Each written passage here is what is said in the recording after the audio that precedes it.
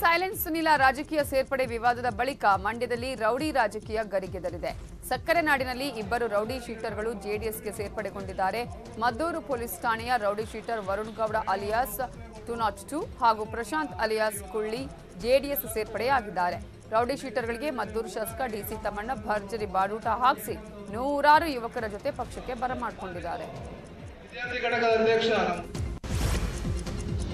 ಚುನಾವಣಾ ಹೊತ್ತಲ್ಲಿ ಡಿಕೆಶಿಗೆ ಮತ್ತೊಂದು ಶಾಕ್ ಎದುರಾಗಿದೆ. ಅಕ್ರಮ ಆಸ್ತಿ ಗಳಿಕೆ ಪ್ರಕರಣದ ತನಿಖೆ ಅಂತಿಮ ಘಟ್ಟಕ್ಕೆ ತಲುಪಿದ್ದು, ಕೆಲವೇ ದಿನಗಳಲ್ಲಿ ಚಾರ್ಜ್ ಶೀಟ್ ಅನ್ನು ಸಲ್ಲಿಸಲು ಅಧಿಕಾರಿಗಳು ಸಿದ್ಧತೆಯನ್ನು ಮಾಡಿಕೊಂಡಿದ್ದಾರೆ.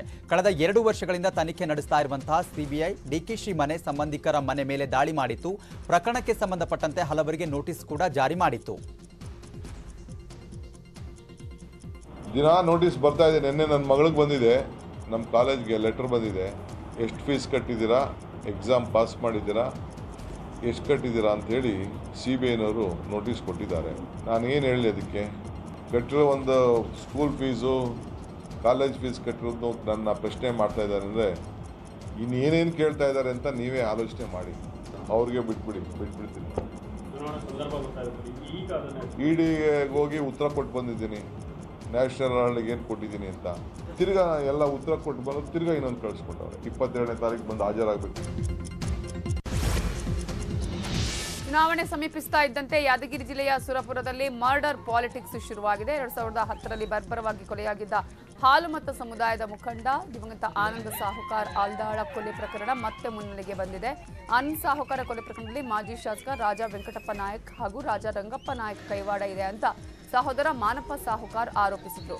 ಮಾನಪ್ಪ ಸಾಹುಕಾರ್ ಆರೋಪವನ್ನು ದಿವಂಗತ ಆನಂದ ಸಾಹುಕಾರ್ ಪುತ್ರ ರವಿ ಸಾಹುಕಾರ್ ಅಲ್ಲಗಳೆದಿದ್ದು, ನನ್ನ ತಂದೆಯ ಕೊಲೆ ಪ್ರಕರಣದಲ್ಲಿ ಮಾಜಿ ಶಾಸಕ ರಾಜಾ ವೆಂಕಟಪ್ಪ ನಾಯಕರ ಕೈವಾಡ ಇಲ್ಲ.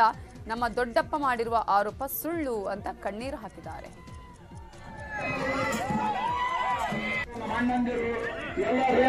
ಕಾರ್ಯಕ್ರಮಕ್ಕೆ ಯಶಸ್ವಿ ಮಾಡ್ಯಾರ. ಸುತ್ತಮುತ್ತಲಿನ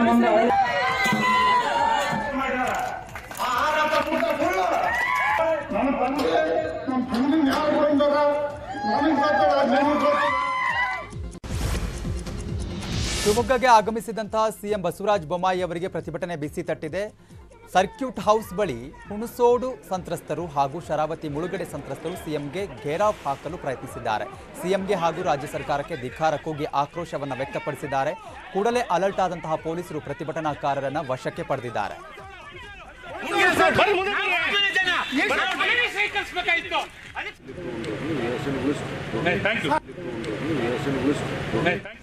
ಅಪಾರ್ಟ್ಮೆಂಟ್ ನಿವಾಸಿಗಳು ಹಾಗೂ ಭೂಮಾಲೀಕರ ನಡುವೆ ಜಗಳ ನಡೆಯುತ್ತಿದ್ದು ವ್ಯಕ್ತಿಯೋರ್ವ ಸಾರ್ವಜನಿಕರ ರಸ್ತೆಗೆ ಗೋಡೆ ನಿರ್ಮಿಸಿದ್ದಾನೆ. ಬೆಂಗಳೂರಿನ ಹೊರಮಾವಿನ ಚಿಕ್ಕಪುಳ್ಳಪ್ಪ ಗಾರ್ಡನ್ನ ವಾರ್ಡ್ ನಂಬರ್ ಇಪ್ಪತ್ತೈದರ ಬಳಿ ಈ ಘಟನೆ ನಡೆದಿದೆ.